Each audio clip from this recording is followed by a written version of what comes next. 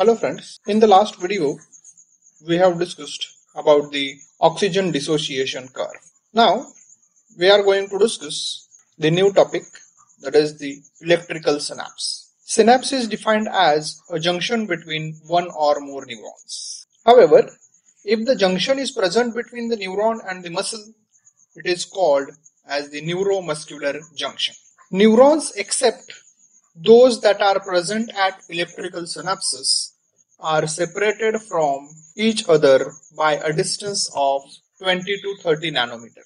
The space that separates neurons from each other is called as synaptic cleft. Synaptic transmission is the rapid and transient change which is either excitatory or inhibitory exerted by a presynaptic signal, usually the action potential on the postsynaptic cell. Synaptic plasticity is defined as an ability of a synaptic actions to change the functional properties of the synapse. Synaptic plasticity is exploited in development, learning, memory, etc. Synapses may be electrical or chemical, excitatory or inhibitory, slow or fast, can mediate the transmission or modulate the synaptic plasticity. Electrical synapses. These are the synapses in which action potential or electric current flows directly from one cell onto the another cell. Electrical synapses lack synaptic delay. That is, the time taken by the electric current to move from one cell onto the another cell. Most electrical synapses are bidirectional that is, current can flow in either direction except rectifying synapses present between the lateral giant axon and the giant motor neuron of crayfish in which current flow is unidirectional and are non-polar. That is, there is no concept like pre and post synaptic neurons. These are present in regions where Speed of conduction and synchronization between multiple cells is essential.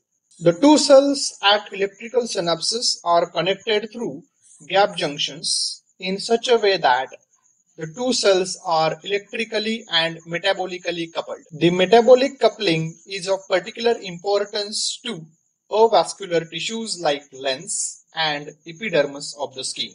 There is a slight decrease in the intensity of current due to low resistance at gap junctions in electrical synapses. Electrical synapses differ in strength. The strength of synapse is directly proportional to the area of gap junction and vice versa. The cells in electrical synapse are separated by a small distance of 3.5 nanometer against the 20 to 30 nanometer present between the chemical synapses.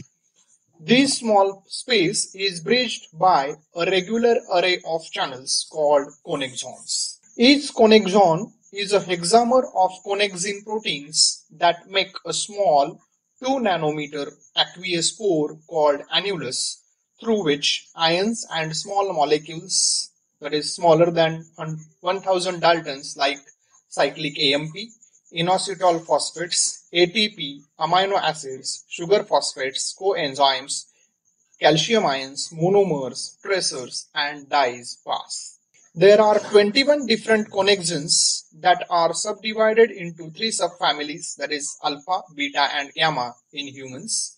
The molecular weight of connexin varies between 26,000 to 60,000 daltons. Connexins may be compatible or not that is, for example, even though nodal tissues and cardiac myocytes are in physical contact, former has connexin 40 while latter has connexin 43 that are incompatible. As a result, there is no coupling between cardiac myocytes and the nodal tissues.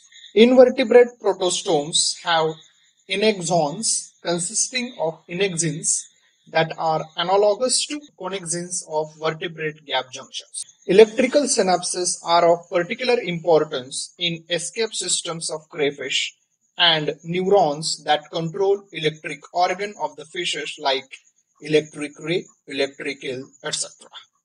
Thank you.